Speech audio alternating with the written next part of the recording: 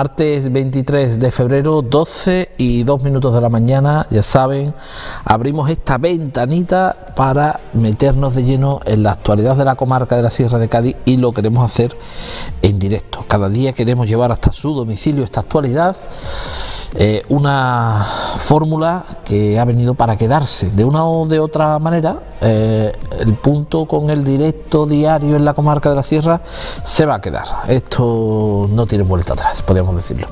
Somos la televisión del directo, somos el medio de comunicación del directo y eso es lo que pretendemos ser.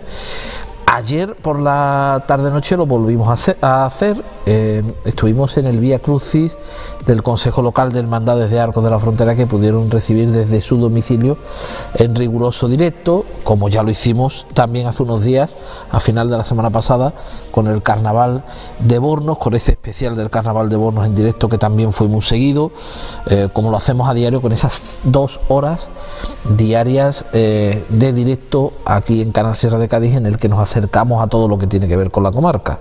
Si echamos cuentas entre una cosa y otra, pues al final nos hemos metido en los últimos días 15, 16 horas de riguroso directo algo que no ofrece nadie más. ¿Y por qué lo hacemos? Bueno, porque nosotros de verdad creemos en nuestra comarca, la llevamos en nuestro nombre incluso, eh, en Canal Sierra de Cádiz, ¿no? Pues nosotros creemos en la comarca de la Sierra de Cádiz y creemos que nuestros municipios tienen que tener lo mejor. ¿Por qué nos vamos a acomodar a hacer la televisión que siempre se ha hecho, pero sin ese punto que al final solo dan televisiones nacionales, regionales?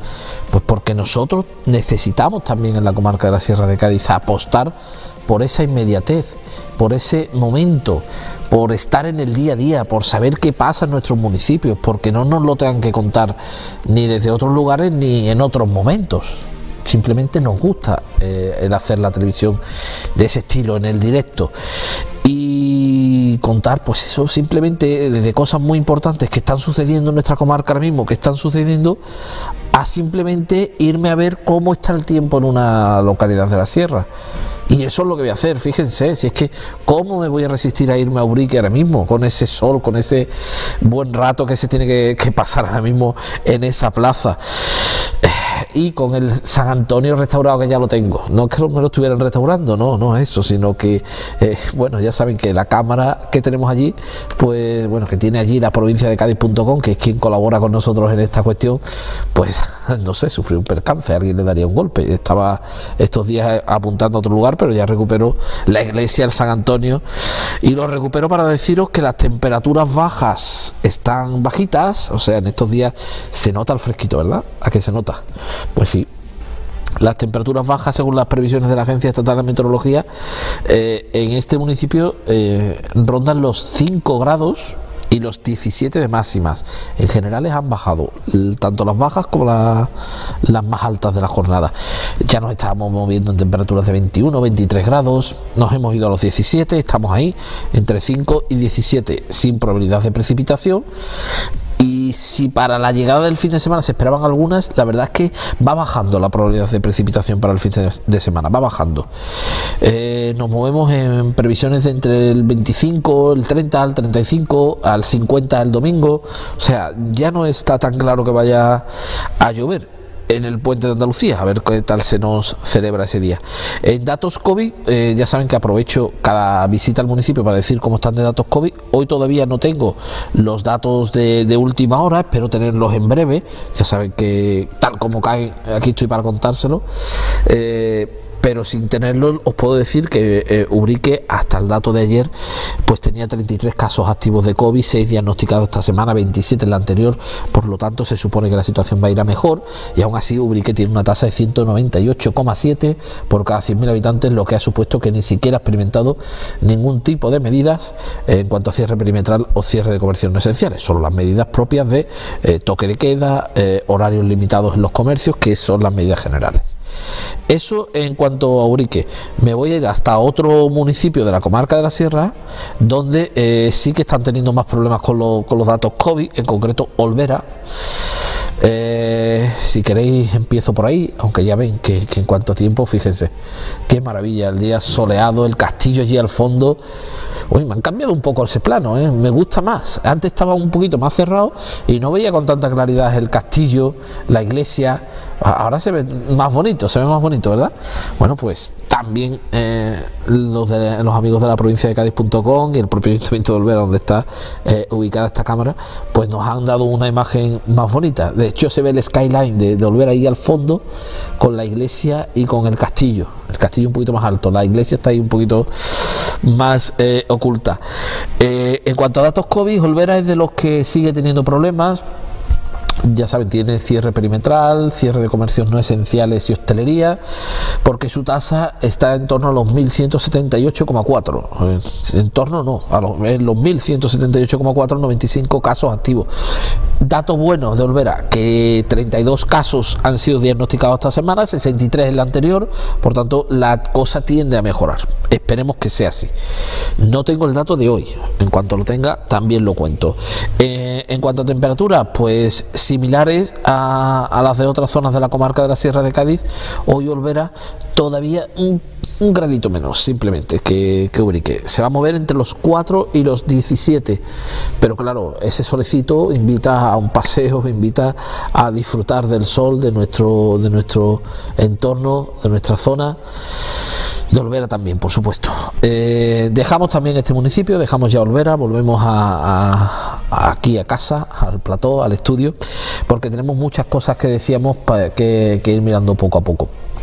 Y vamos a comenzar, si os parece, por el repaso informativo de la jornada. Estoy pendiente de los datos COVID. Eh, algunos alcaldes ya nos han valorado la situación del COVID algunos una vez más sobre la bocina eh, eh, de cuando se van a presentar esos datos, o sea que, que al final daremos una valoración de los datos de ayer, lógicamente.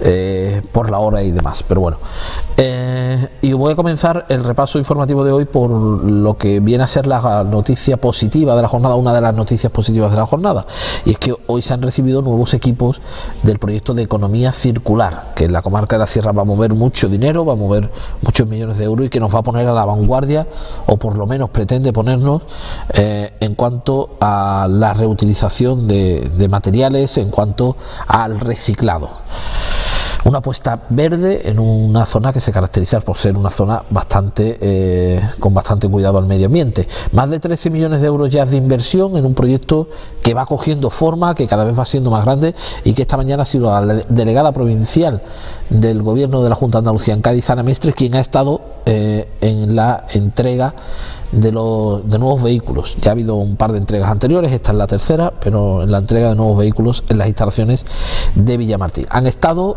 el alcalde de Villamartín, Juan Luis Morales, el delegado provincial de Medio Ambiente, Daniel Sánchez, la delegada provincial de la Junta de Andalucía en Cádiz, eh, Ana Mestre, y también el presidente de la Mancomunidad de Municipio, Carlos García. A todos ellos vamos a escucharlo durante el acto de entrega de estos equipos.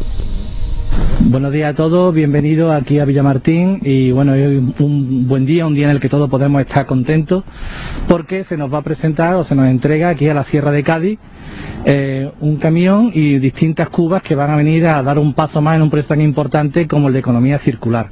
Así que en este contexto tengo que dar las gracias a la delegada del gobierno, a Ana Mestre, que nos acompaña hoy, que ha venido aquí para dar este importante paso, y al delegado de Medio Ambiente, Dani, que también está aquí para, para estar presente en un paso importante. ¿Y por qué digo que es un paso importante? Porque el proyecto de economía circular, que es una apuesta decidida, hecha entre todos los pueblos de la Sierra de Cádiz y la Delegación de Medio Ambiente de la Junta de Andalucía, pues va a suponer un cambio, una revolución importante.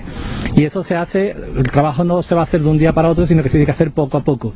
Y de todos esos poco a poco hoy es un paso muy importante porque va a reflejar y se va a ver que el proyecto de economía circular es una realidad y que se va a plasmar en todo nuestro territorio. Así que yo darle la bienvenida, darle las gracias a todos por estar hoy aquí y como no, bueno, ceder el, ceder el paso y la palabra a Dani para que nos cuente un poco más sobre, sobre el paso que estamos dando hoy tan importante aquí en la sierra. Gracias, alcalde. Bueno, yo simplemente darle la bienvenida a todos vosotros y el agradecimiento especial tanto a la mancomunidad de municipio y a su alcalde, al alcalde de Grazalema, que es presidente de la mancomunidad, por el trabajo que están haciendo de forma conjunta todos los municipios de la Sierra de Cádiz y, como no, al alcalde de Villamartín. Y le voy a dar paso a nuestra delegada del Gobierno, que mm, quiero hacer una mención especial y un agradecimiento especial a nuestra delegada. Es la primera vez que viene a la entrega que ya estamos haciendo de forma periódica pero por el hecho de que no haya venido las dos veces anteriores, no significa que no haya estado eh, en el cuerpo del proyecto, porque este proyecto es eh, gracias a que en la delegación de Cádiz pues se aprobó en comisión de participación un presupuesto de 8 millones y medio de euros que se ha ampliado a 12 millones y medio de euros y quien preside la comisión de participación es nuestra delegada del gobierno, así que yo tengo que agradecerle enormemente pues que le diera luz verde a este proyecto cuando entramos en el gobierno, que estaba solamente pues un millón y medio asegurado y que lo pasamos a 8 millones y medio de euros y ahora está ya en casi 13 millones de euros. La realidad se, confronta con, días como el de hoy, así que delegada, muchísimas gracias compañera y te cedo la palabra para que explique bien el proyecto. Muy bien, pues muchísimas gracias querido delegado territorial alcalde del municipio de Villamartín y como presidente de la mancomunidad, a los técnicos también presentes, al gerente y a todos ustedes, los medios de comunicación, por eh, hacer posible que los ciudadanos hoy conozcan una iniciativa de esta magnitud. No solo el proyecto de economía circular, sino también lo que hoy venimos a, hacer, eh, que es una entrega a la mancomunidad, una cesión de este camión un camión con grúa para el acopio y traslado de los residuos eh, a, la, planta y por lo tanto también esa entrega se completa con 20 contenedores que también se, le cede a la mancomunidad de municipios de la Sierra de Cádiz. Creo que, esta cesión lo que viene es a visibilizar eh, la realidad de un proyecto de economía circular que quizás para algunos tenía dudas en la ejecución del mismo y en los tiempos del mismo, pero sin embargo con el nuevo gobierno hemos sido capaces de impulsarlo y de hacerlo realidad. Como bien decía el delegado territorial, se aprobó ya definitivamente a través de, la ITI con dicha financiación haremos posible que la Sierra de Cádiz sea pues pionera en un proyecto de economía circular que en boga está, pero que sin duda alguna somos los primeros en ejecutar un proyecto de esta magnitud. 13 millones de euros que hacen posible que en la Sierra de Cádiz se concentre en numerosas miradas eh, con respecto a los valores medioambientales que desde todas las administraciones y desde Europa se ponen ahora mismo de relieve y se insiste en el trabajo sobre el mismo para seguir trabajando en una sociedad mejor, para tener además una sociedad más concienciada con nuestro medio ambiente y sin duda alguna también en esa economía circular con todos los beneficios que ésta aportará y aporta a nuestra sociedad. En este caso nos va a servir este camión para la recogida de, escombros. a través del escombro se puede revertir en nuestra sociedad, en la construcción, pues materiales que pueden ser útiles y no que estos escombros terminen en cunetas, terminen en nuestros ríos y terminen en cualquier sitio menos donde debe terminar. Y en esta ocasión no habrá excusa para que esos escombros sean reutilizados. Así que es una eh, magnífica noticia, es un paso más al frente determinante para la ejecución al 100% de este proyecto que como digo es pionero en España y que a mí me enorgullece el que sea la Sierra Gaditana la que se beneficie a priori de este gran proyecto, del cual no solo se habla en Cádiz, sino en Andalucía y en España, en diferentes foros donde ya hemos podido participar, tanto el delegado territorial como yo misma y muchos de ustedes, queridos alcaldes también, de toda España, incluso para conocer precisamente eh, desde el inicio de este proyecto hasta la finalidad del mismo, eh, conociendo igualmente los diferentes ya pues proyectos que en diferentes localidades de esta sierra se pusieron en marcha de manera como piloto, como proyecto piloto y que evidentemente eso ha propiciado el que siga avanzando y demos pasos firmes en la ejecución y desarrollo de, este proyecto de economía circular. También he de decirles que en Zahara pues vamos a repartir unas macetas que serán eh, unas macetas fruto de este también proyecto, fruto de la reutilización de los escombros y podremos demostrar cómo a través de esto se consiguen otros materiales como es la propia maceta, como es el compostaje, el compost, perdón, eh, y, sin duda podremos seguir eh, transmitiendo a los más jóvenes, a los más pequeños de nuestros municipios, el que hay que cuidar nuestro entorno natural, que hay que seguir construyendo nuestra sociedad desde los valores medioambientales y que evidentemente todo lo que se pueda reutilizar con los recursos que posibilita la Administración haremos lo posible para tener una sociedad mejor y que entre todos cuidemos nuestro entorno. Así que muchísimas gracias y si tienen ustedes alguna cuestión, tras darle la palabra al presidente de la mancomunidad, pues estoy a su entera disposición. Muchas gracias. Muy bien, pues gracias eh, delegada, eh, delegado, alcalde, gracias a, los medios de comunicación y, todos los, presentes. Se ha dicho aquí, ¿no?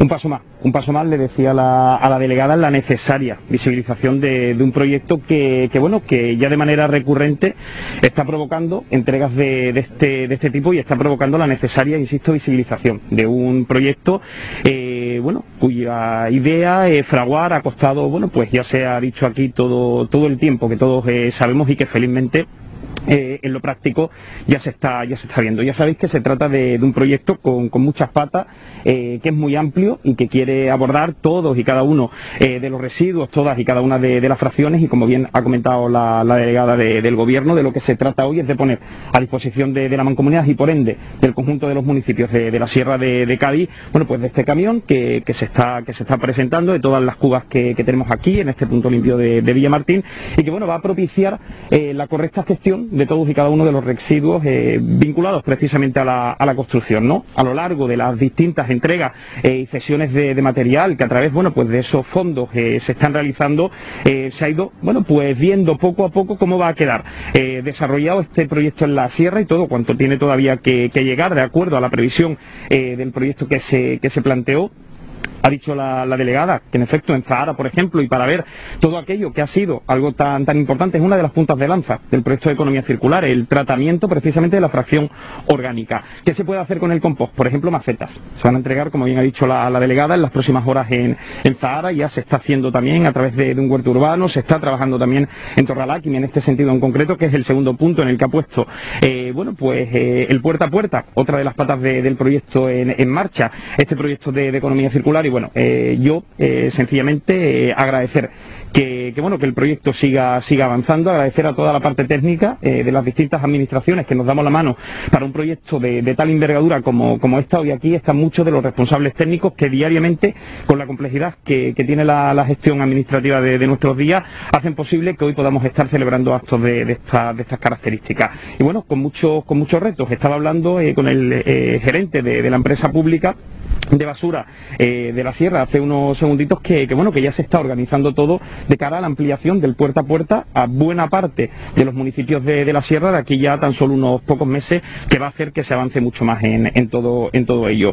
Punta de lanza la, sierra de, Cádiz algo que los alcaldes de los municipios más pequeñitos siempre siempre defendemos agradecemos de verdad eh, que, bueno que este tipo de, fondos hayan mirado a la sierra de, Cádiz y que se esté apostando eh, por el empleo verde además en un entorno como, como el nuestro para que todo aquello que se hizo virtualmente de, la necesaria eh, mejora de la calidad de, vida en los entornos del interior, aquellos de, la llamada España vaciada, bueno, al final supongan también, ya digo, una punta de, lanza a la hora de poner en, marcha y en práctica proyectos de, estas características que fijen la población al territorio y que lancen además un mensaje que trasciende fronteras, el mensaje de la economía circular. Yo estoy de acuerdo en que hay mucha gente que se está fijando en cómo eh, puede acabar resultando este, este proyecto, porque al final, eh, insisto, esto trasciende las propias fronteras de, la Sierra de Cádiz y si aquí es exitoso, yo creo que podremos lanzar mensajes muy importantes, bueno, a todo ese movimiento social y en defensa de la sostenibilidad de, nuestro entorno, que además ya sabe, incluso la, agenda, la propia agenda europea.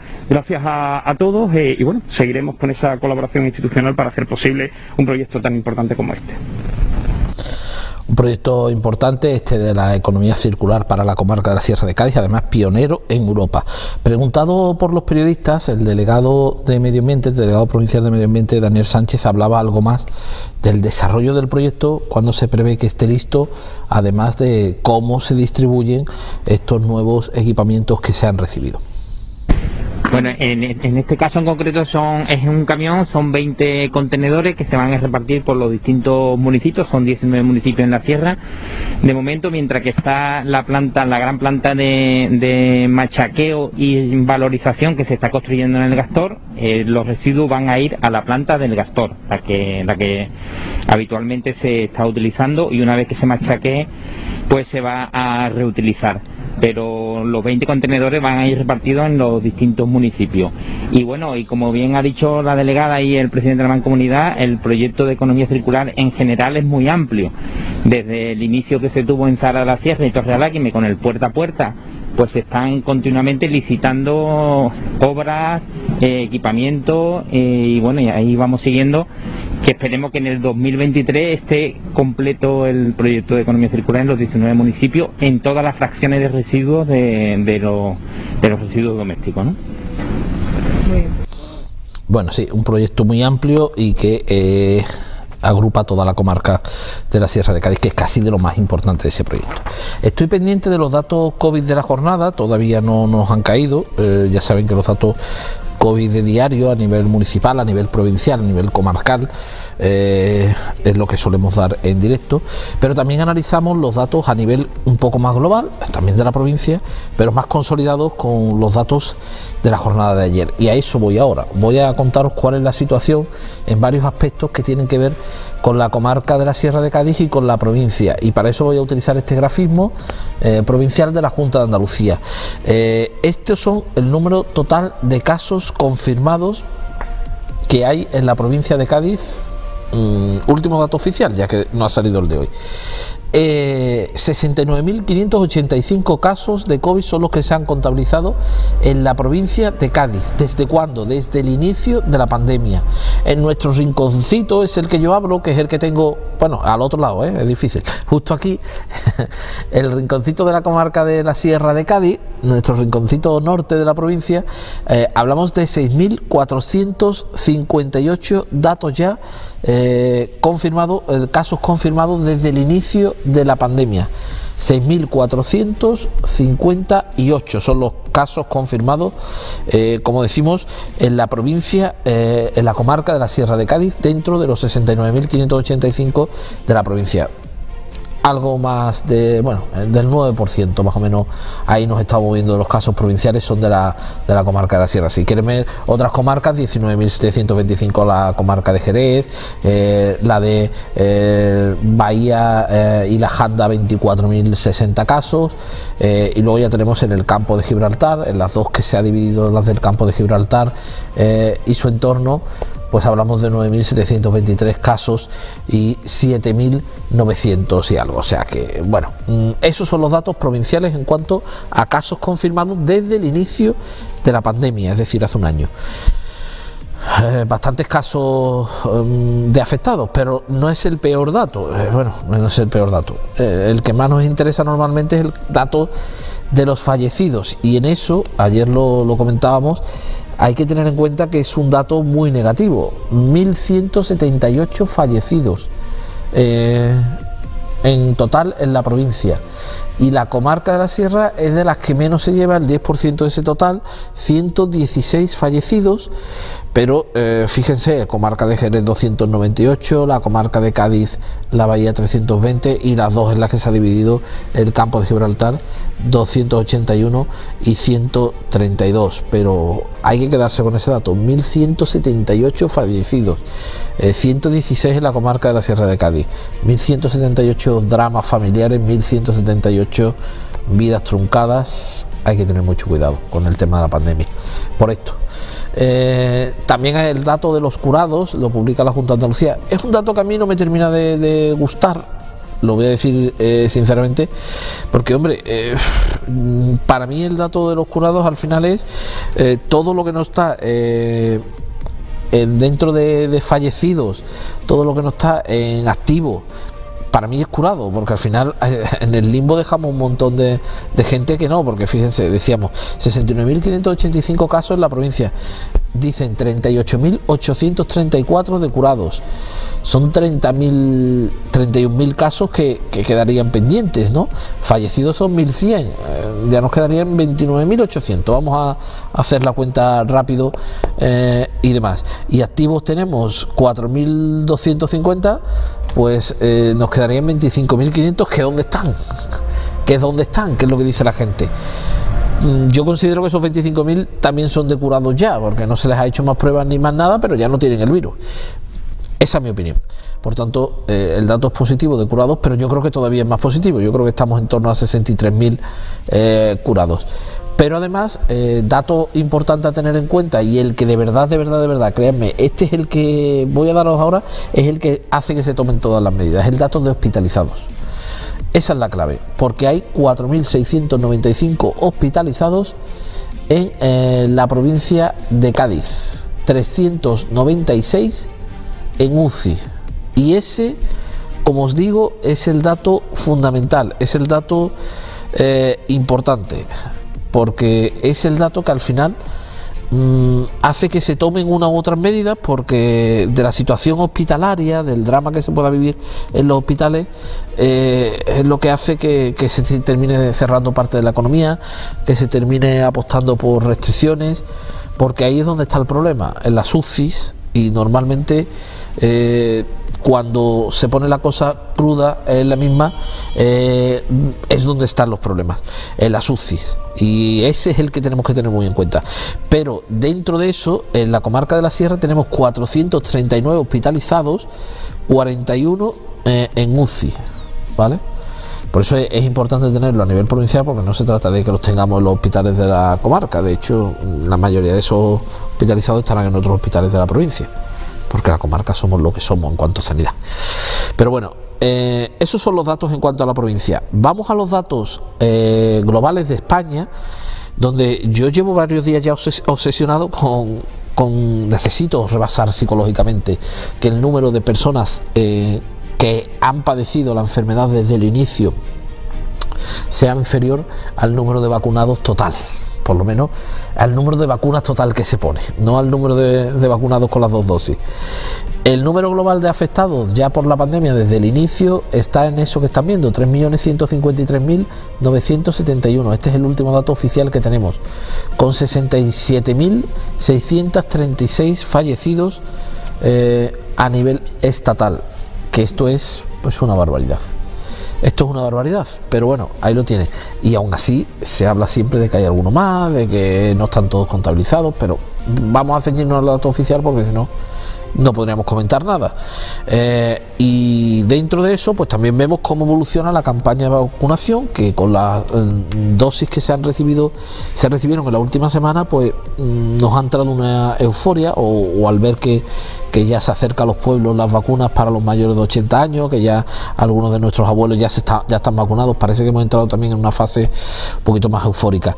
Eh, hemos recibido 3.622.165 vacunas, de las que oficialmente ya se han administrado 3.090.351 facturas, eh, facturas, perdón, ¿en qué estaría pensando uno? Vacunas.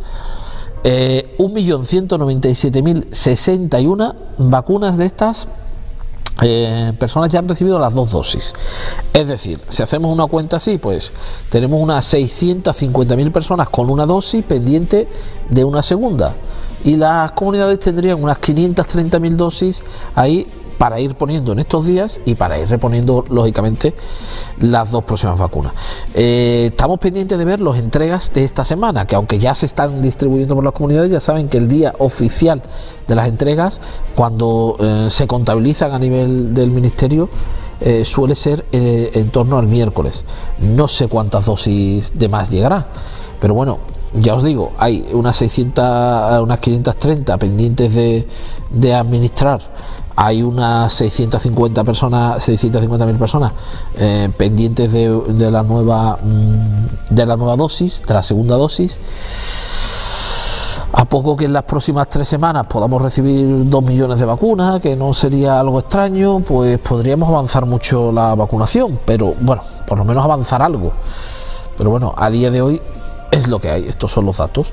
Eh, sí hay que tener en cuenta que estamos hablando de que eh, en torno al uno y medio de la población tiene una dosis esperando la segunda eh, y estaríamos en torno casi casi rozando el 3%, todavía no lo rozamos, que tienen las dos dosis, es decir, estamos en torno al 4,5% de la población ha recibido una o dos dosis. Esa es la estrategia que se está siguiendo en España, la de eh, priorizar las dos dosis sobre una. En otros países lo que se está haciendo es eh, vacunar sobre todo la primera dosis que dicen que ya crea inmunidad y alargar la segunda mucho más allá en el tiempo. De momento eh, la, la situación de España es esta y la estrategia de España es esta. No hemos escuchado que se vaya a cambiar por vacunas sí que tenía yo por aquí el dato, por si algunos tienen duda del número de vacunas que nos está llegando de cada una. Eh, la de Pfizer pues se, termina llevando la palma de momento, es la que más ha llegado. Eh, seguido bueno de AstraZeneca que ha superado incluso eh, a la de Moderna que llegaron unos primeros envíos y separaron ahí los envíos no sé si bueno sí sí porque sí sé qué pasa porque la vacuna de Oxford, es la vacuna de, Reino Unido y entiendo pues que estarán priorizando totalmente a Reino Unido eh, porque bueno, al final eh, es su país y tienen que, salir eh, bueno, con mejores datos, vamos a dejarlo ahí. La, situación en, el país es, han llegado ya 3 millones de de Pfizer, 192.000 de, de Moderna y 418.000 de AstraZeneca. Eh, esta última es la de Oxford. Creo que he dicho la de Moderna de Oxford, ¿no? No, no. La última es la de Oxford. Aún así, Moderna es verdad que empezó a suministrar rápidamente, pero ahí se ha quedado la cosa. 192.000. 418.000 de AstraZeneca Oxford, eh, que sigue priorizando a Inglaterra, lógicamente, y la de Pfizer, 3.012.000. O sea que vamos a esperar a ver qué tal vienen los envíos de vacuna de esta semana y, pendiente también de la de Johnson Johnson y demás. Voy a mirar antes de irme a publicidad, porque me voy a ir a publicidad, pero por, por decir si a la vuelta ya voy a tener los datos del COVID de hoy. De momento no, de momento no han caído. Pero tengo muchos temas a la vuelta, así que no se vayan, van a ser pocos minutos. Estamos aquí en un ratito, eh, seguimos hablando de la comarca de la Sierra de Cádiz. Hasta ahora.